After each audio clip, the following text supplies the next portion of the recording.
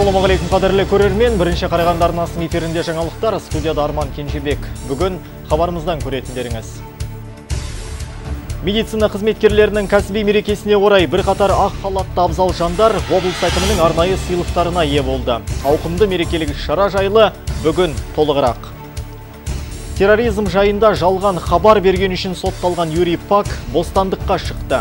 Өз кінәсін мойындаған бұрынғы физика пәнінің мұғаліміне сот қалған мерзім үшін айыппұл төлеп бостандыққа шығуына рұқсат етті.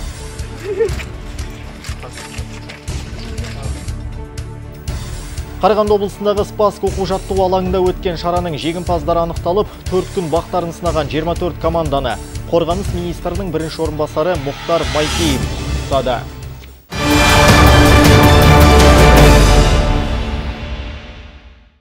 Қарағанды облысының ең үздік дәрігерлері анықталды. Денсаулық сақтау саласы қызметкерлерінің кәсіби мерекесінде аймағымыздың озық мамандарын облыс әкімі арнайы құттықтады.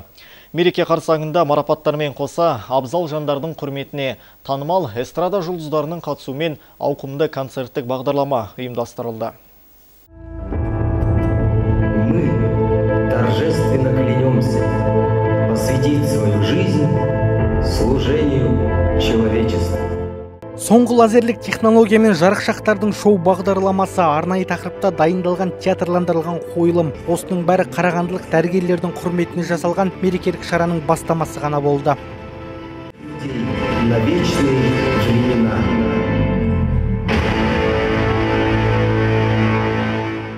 Биылғы мерекені ерекше форматта дайындаған денсаулық сақтау басқармасы кештің өнерпаздарынан бастап жүргізушілеріне дейін мән берсе керек. Концерттің тізгінін қазақстан республикасының еңбек сіңірген қайраткері нұрлан абдуллиннің өзі қолға алды.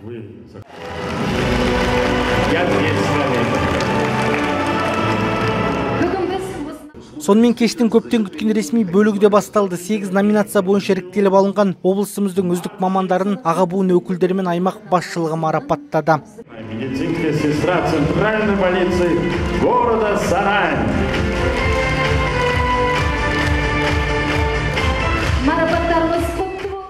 Жыл бойғы атқарған еңбектері үшін мыңнан іріктеліп шыққан дәрігерлердің алғашқы санаты яғни ең үздік акушер гинеколог аталымы бойынша балқаш қаласынан келген телікбаев роза марапатталды. Педиатрлардың үздігі мәртебесі атағын теракина людмила иеленді. Ал жалпы іс тәжірибедегі дәрігер атағын нұра аудандық емханасының маманы билгенов жібек пен теміртаулық дәрігер марченко валентина бөлісті.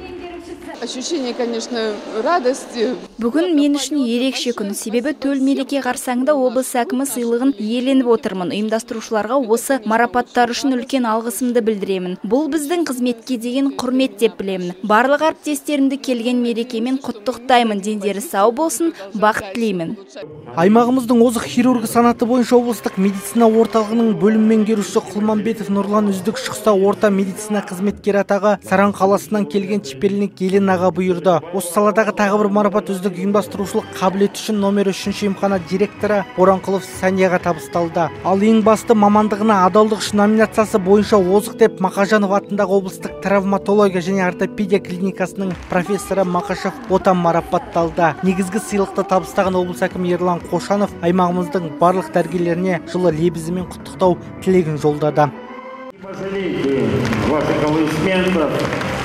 Это люди целый год работали, чтобы сегодня оказаться. өмірде дәрігердің ыстық ықыласымен аялы алақанын сезінбеген адам кемде кем. Сіздердің көмектеріңіздің нәтижесінде тоқтаған жүрек қайта соғады үзілген үміт қайта жалғанады. Мыңдаған адам өмірге қайта оралып жатыр. Міне біз қанша қымбат біз медициналық аппаратты алып жүрсақ та ол аппарат өзінен өзі емдемейді адамдарды емдейтін дәрігерлер сіздерсіздер. Сондықтан сіздерге тағы да үлкен рахметімді айтқым келеді біздің қазақтың бір дана сөзі бар. Әйел бір қолымен бесікті тербесе екінші қолымен әлемді тербейді дейді. Ал мен айтар едім дәрігер екі қолымен де сол әлемді тербеп отыр. Маусым айының екінші жартысындағы абзал жандарды ұлықтау рәсімі еліміз бойынша 2006 жылдан бері тұрақты өткізіліп келеді. Биыл да дәстүрден жаңылмай аймақтың үздік дәрігер атақтары өз иелерін тапты. Бас аяғы бір жарым сағатқа созылған мерекелік шарадан кейін сәл тыныққан ақ халаттылар асығыс жұмыс орындарына аттанып кетті. Себебі бізді мыңдаған адамның өмірі мен денсаулығына деген жауапкершілік күтіп тұр дейді дәрігерлер. Жанайдар жасұлан мақұлбеков дастан шанин бірінші қарағанды телеарнасы. Шақарымызда «Мен қазақпын» халықаралық музыкалық жобасының іріктеу кезеңі өтті. Ұлттық өнерді насихаттауды мақсат еткен байқаудың қатысушылары дәстүрлі ән, күй және терме аталымдары бойынша сынға түсті. Музыкалық жобада аймағымыздың танымал мәдениет қайраткерлері, айтыскер ақындарымен қатар жас өнерпаздар да бақтарын сынады. Іріктеуден үздік атанған үміткерлер республикалық телевизиялық мега жобаға қатысу жолдамасын еленді.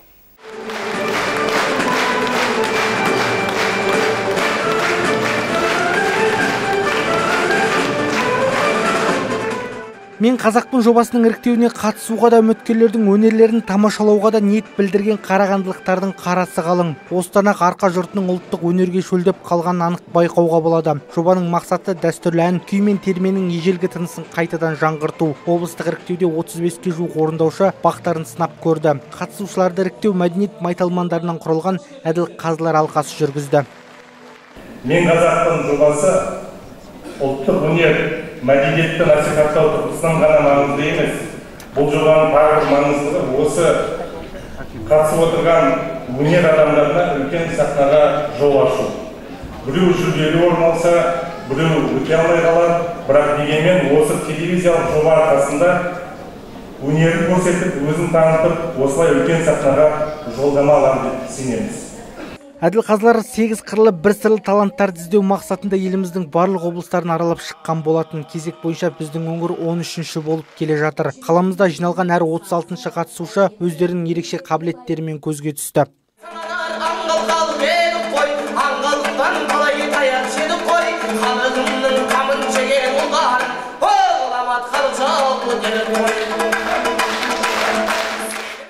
Мен қазақтың халықаралық музыкалық жобасының ең дарынды қатысушы республикалық телевизиялық байқауының жолдамасына ие болады. Аталмыш жоба іріктеу кезеңінде 18 бен 40 жас аралығындағы өнерпаздар қатыса алады. Ұланғасыр қамиев облыстық кезең бойынша ең жас қатысушы. Жасөспірім мега жобада домбыра өнерімен таңғалдырғысы келетіндігін айтады.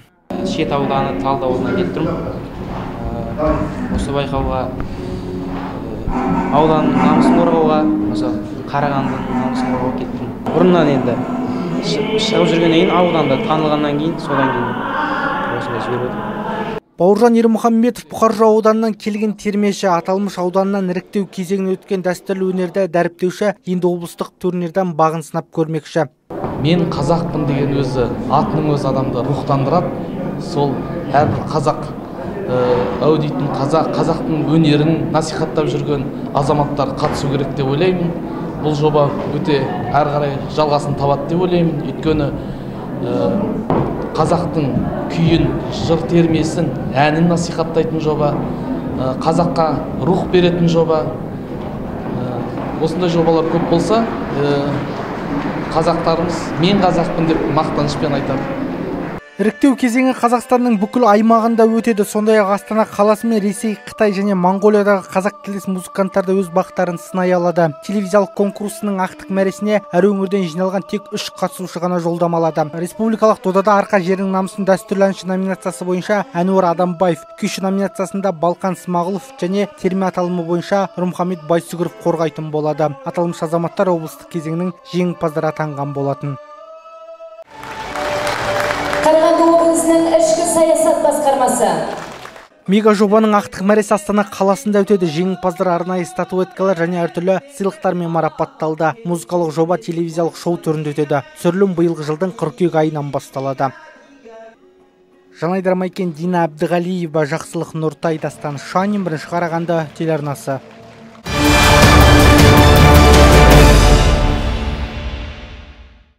Аймағымызда өткен демалыста 5 адам суға батып кетті. Оның екеуі бала. Соңғы күндері қаламызда аптап ыстықтың көтеріліп кетуіне байланысты қала тұрғындарының басым бөлігі су қоймаларындағы демалыс орындарына барып салқындап пана іздеуде. Алайда барлығы суға түсу ережелерін сақтай бермейді, тіпті кей кездерде соңы қайғылы оқиғаларға әкеп соғады. 18 маусым күні Федоровка су қоймасының яхт клуб маңында екі оқыс оқиға тіркелді. Шамамен жарты сағат ұзақтықпен демалушылар суға батып кеткен екі адамның денесін тауып алған. Құтқарушылар көмекке келгенше қала тұрғындары көз жұмды. Қаза тапқандардың бірі 1967 жылғы, енді бірі 1965 жылғы азаматтар. Төтенше жағдайлар департаментінің мәліметінше бүгін таңғы сағат 9-дар шамасында Асакаровка ауданындағы Сәтпаев каналында 1994 жылғы жас жігіттің денесі табылды. Ол 17 маусым күні сағат 12.00-де балық аулауға кетіп, арты қайғылы оқиғамен аяқталып отыр. Сонымен қатар 2011 жылғы және де 2003 жылғы балалардың да денелері судан табылды. Төтенше жағдайлар департаменті қала тұрғындарын сақтық шараларын ұстануға шақырады. Федоровка су қоймасының аумағындағы яхт клуб маңайында екі бір 67 және 65 жылғы ер адамдардың денесі табылған болатын. Жалпы ол жағдайдың себебі қазіргі уақытта анықталуда. Төтенше жағдайлар департаменті барлық қала тұрғындарын және қонақтарды су қоймаларында демалған кезде сақтық шараларын сақтап ережелерді ұстауға кеңес береді және балаларды ересектердің жанында ұстауға және бүкіл ережелерді сақтауға шақырады Өткен сенбі күні атышулы физика пәнінің мұғалімі Юрий Пак бостандыққа шықты. Абай аудандық сотының ақпаратына сүйенсек, орталық әмбебап дүкеніне жарылғыш зат қойылды деп, жалған ақпарат таратқан Юрий Пак өзінің кінәсін мойындаған. Сотталушы өтелмеген мерзім үшін 170 мың теңге көлемінде айыппұл төлейтін болды.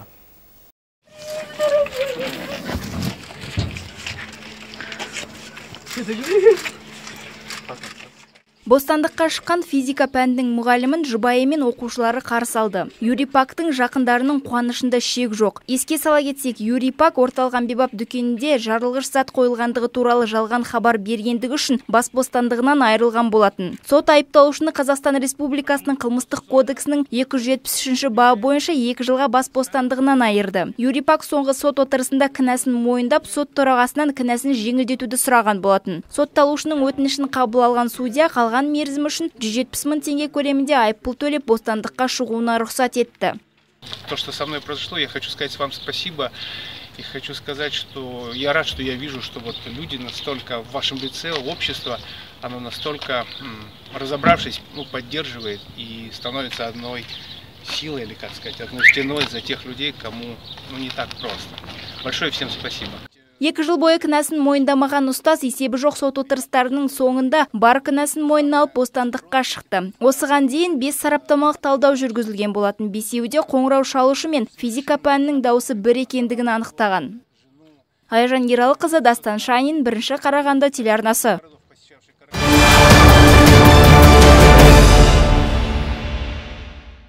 Ал аймағымызда соңғы жарты жылдың көлемінде мемлекеттік органдарда шенеуніктер мыңнан астам заң бұзушылыққа жол берген. Облыстық прокуратура екі айға жуық уақыттан бері тиімді өкілеттілік атты жобасын ұйымдастыруда. Аталмыш бағдарлама бойынша мемлекеттік органдардағы заң бұзушылықтар анықталып, келтірілген шығындар да қарастырылмақ. 2016-2017 жылдардың соңғы жарты жылында шенеуніктердің үстінен мыңнан аса іс қозғалып, олардың 250 сотта өз кінәларын мойындаған. Бұл заң бұзушылықтар жылдан жылда қайталанып келеді. Сондықтан прокурорлар тиімді өкілеттік атты жобаны ұйымдастыруда эти нарушения продолжаются из года в год. Бұл заң бұзушылықтар жылдан жылға қайдалануда сондықтан біз шенеуніктерді әкімшілік жазаға жеткізбей оларға түсіндіру жұмыстарын жүргіземіз. Мәселені ушықтырмай сол мезетте шешуге тырысамыз. Сонымен қатар олардың білместікпен қателіктер жасауына жол бермейміз.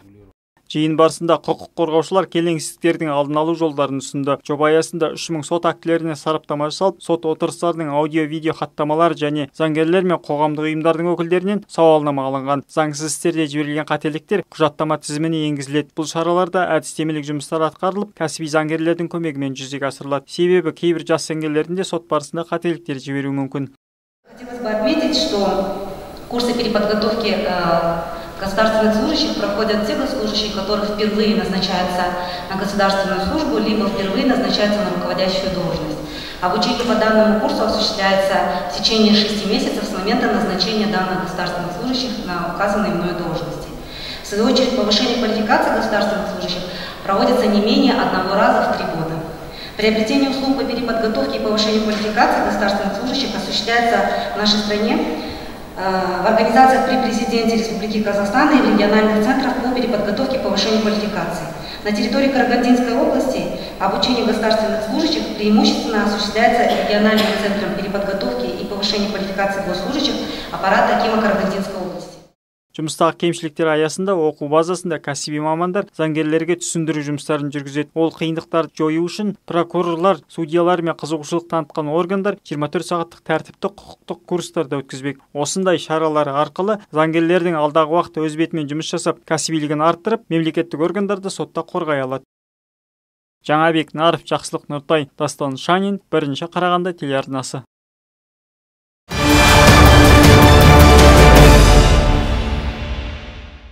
Өзге де жаңалықтар жөнінде. Қарағандыға дін істері және азаматтық қоғам вице-министрі Абзал Нүкенов келді.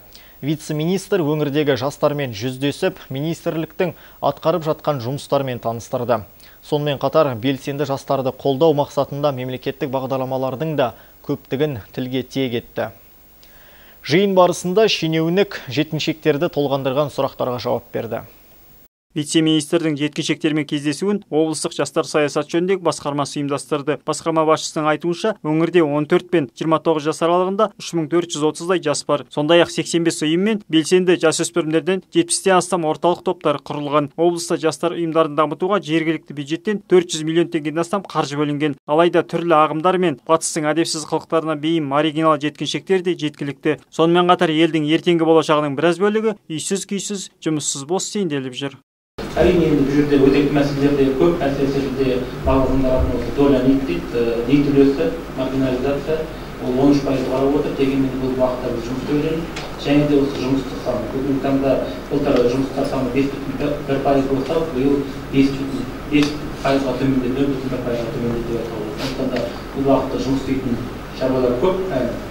Дін істері және азаматтық қоғам министрлігі елбасының тапсырмасымен биыл қыркүйек айында құрылған министрлікке түрлі діни бірлестіктер мен үкіметтік емес ұйымдар қарайды. Бүгінде қазақстандағы 19 мыңнан астам үкіметтік емес ұйымның 9 мыңдайы ғана белсенді қызмет атқаруда екен. Бұл ұйымдарды дамытуға бөлінген қаржының 10 пайызға жуығын қарағандылықтар игеруде. Министрлік өңірлердегі жұмыссыз жастардың да қоғам істеріне белсене араласуына ықпал жасап өзекті мәселелерді шешуге көмектеспек.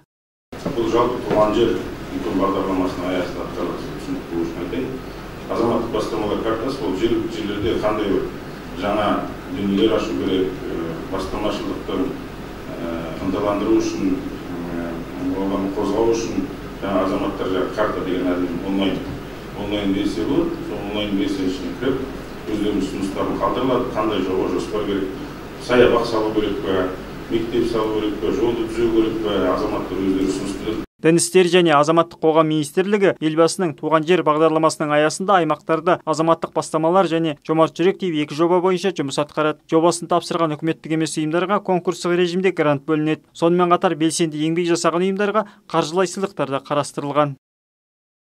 Жаңабек наров исламбек оспан дастан шанин бірінші қарағанды телеарнасы.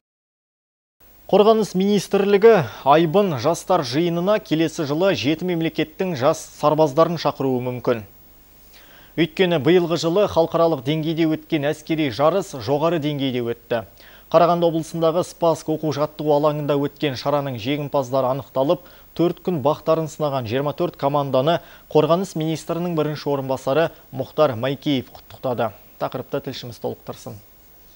Төрт күн бойы қиын кезеңдерді еңсерген Дәулет Досбосынов аптап ыстықта жылдамдыққа жүгіру аса ауыр болды дейді. Белтемірге тартылып автоматты бір жарым минуттың ішінде шашып құрастырған жас сарбаз, сондай ақ әскери киімдерді киюден де сынға түскен екен. Ақыры 24 команданың ішінен суырылған алматылық топ жас ұлан республикалық мектептер арасында жалпы командалық есепте екінші орынға ие болды.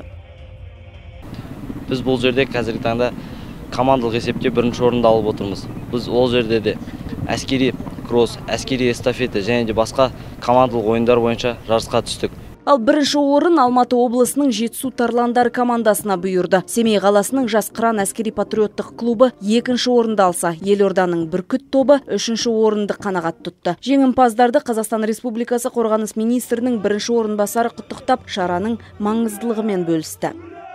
Осы іс-шаралар өте маңызды өте пайдалы. Біздің жастар үшін осы үлкен үлкен сабақ. Бастапқы патриоттық және отан деген сүйіспеншілігін сабақтар. Сондай ақ мұхтар майкеев айбын әскери сайысына қатысам деушілердің қатары өскенін айтады. Мәселен былтырғы жылға қарағанда биыл шараға жиналған жас сарбаздар көп. Жарыстың 16 кезеңі бойынша сынға түскен азаматтардың дайындықтары да жоғары. Жыл сайын дайындық жақсы өте жақсы дайындалғандар балдар. Өздеріңіз білесіздер мына регионнан келгендер ол алдында облыста районда өзінің дайындықтарын өткізеді. Содан кейін ең күштілері бізге келеді. Сол күштілер күшті дайындығын көрсетті. Ұйымдастырушылар жастар жиынының халықаралық деңгейде өтуіне жүзден астам өнерпаз жұмылдырылғанын айтады. Қорғаныс министрлігінің өкілдері келесі жылы жас сарбаздарды жеті мемлекеттен шақыруды жоспарлап қойған. Өйткені сөздерінше шетел азаматтары айбын әскери жастар жиынына қатысуға әлден бастап ниет етіп отыр. Мейрамгүл салқынбаева жасұлан мақұлбеков дастан шанин бірінші қарағанды телеарнасы. Қазақстан полициясының 25 жылдығына орай және тәртіп сақшыларының кәсіби мерекелері қарсаңында 19 қызметкер кезекті шендеріне ие болды. Шені өскен қызметкерлер жүзден астам үміткердің арасынан іріктелініп алынған. Сондай ақ үздік атанған полицейлер бір айлық оқу жаттығу курсынан да өтті. Тоян Арайлым Қарағанды қалалық ішкі істер басқармасына осыдан тура бір жыл бұрын келген. Аз ғана уақыт ішінде ғана үлгілі қызметімен көзге түсіп үлгерген маман полиция лейтенанты шеніне ие болып отыр. Арайлым бала кезінен тәртіп сақшысы болуды армандағанын айтады. Кәсіби мереке қарсаңында еңбегі еленгеніне қатты қуанышты екенін де жасырмады полиция қызметінде жұмыс істеу бала кезіндегі арманым еді. Және де әкемнің де өте арманы еді. Әкемнің бүгін туған күні. Туған күніне де міне осындай құрмет салтанатты түрде маған погон алайын деп отырмын. Оған қуаныштымын. Әкемнің де арманы орындалғанына қуаныштымын. Жалпы әрі қарай қазақстан республикасына қызмет етемін. Адал қызмет ететініне ант етемін. Полиция қызметкерлеріне шен тапсыру рәсімі қазақстан полициясының 25 жылдығына қарсы ұйымдастырылды. Жылда 25 маусым күні тәртіп сақшылары кәсіби мерекелерін атап өтеді. Марапаттауға 19 қызметкерлікті. Олар бір ай бойы теміртау қаласында оқу жаттығу курсынан өткен болатын. Бұл жас мамандардың қол жеткізген алғашқы шендері. Дегенмен бұл еңбек жолының тек бастамасы дейді. Саланың тәжірибелі мамандары. Қаласы ішкі істер басқармасының аумағындық бөліністерінің жас қызметкерлері бірінші арнайы атақтарын алып жатыр. Ішкі істер министрінің бұйрығымен берілген. Барлығы қазіргі уақытта 19 қызметкер қарағанды қаласының гарнизоны бойынша. Бұл қызметкерлер бүгін 31 маусым 30 мамыр күні арнайы атақтармен ішкі істер министрінің бұйрығымен қол қойылып қазір міне беріліп жатыр. Бұл қызметкерлер қазір міне арнайы атақтарын алған соң әрі қарай уже қызметін жалғастыруға әрі қарай жұмысын жалғастыруға территорияға аумақтық бөліністерге жіберіледі. Салтанатты жиында полиция қызметкерлері еліне адал қызмет етуге ант беріп жұмыс орнына жаңа лауазымдарымен аттанды. Биыл қаламызда жыл басынан полиция қызметкерлерінің мерейтойына орай түрлі шаралар легі өткен болатын және мерейтой аясында жұмыстар жыл соңына дейін жалғаса береді. Аяжан ералқызы исламбек оспан дастан шанин бірінші қарағанды телеарнасы.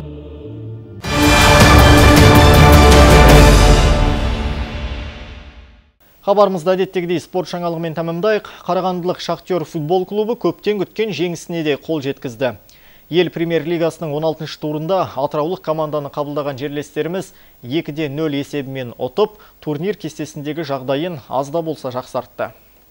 Төреші сықырығы естілгеніне қонақтардың айбалаң қыспақ қалған шахтерліктер дегеніне жетпей қоймады. Сол қапталда бірнеше қорғаушыларды сан соқтырған скорих айып алаңына тамаша әуелетіп пас шығарған болатын. Оның басын стоянович баспен ұрып голға айналдырды. Есеп бірде нөл. Жылдам соғылған голдан кейін жігерленген кеншілер мұнайшылар командасын біраз әбігерге салды. Ойын аяқталар тұста айып соққысын ойдағыдай орындаған стоянович атырау қақпасынан екінші мәрте саңлау тапты. Қорытынды есеп екіде нөл. Записывает и 2-0 и практически уже три очка в кармане парней. Осылайша павлов шәкірттерінің қарағандыда тағы да жолы болмай елдеріне құр қайтты. Қарағандылық шахтердің бас бапкері міндетін атқарушы андрей финонченко бұл жеңістің командаға ауадай қажет болғандығын айтады. Енді қарымта кездесу 21 маусым күні атыраулықтардың алаңында өтетін болады. Қазір жерлестеріміз 16 турдың қорытындысы бойынша 12 ұпаймен турнир кестесінің 11 сатысына жайғасты. Арнамызға келіп түскен айшықты ақпараттардың легі міне осындай болды. Қандай да маңызды жаңалықтарыңызбен бөліскілеріңіз келсе редакциямыздың 42 06 49 байланыс телефонына хабарласуға болады. Ал жаңалықтарымыздың толық нұсқасын арнамыздың сайтынан көре аласыздар. Назар қойып тыңдағандарыңызға рахмет. Эфирде қайта жүздескенше аман сау болыңыздар.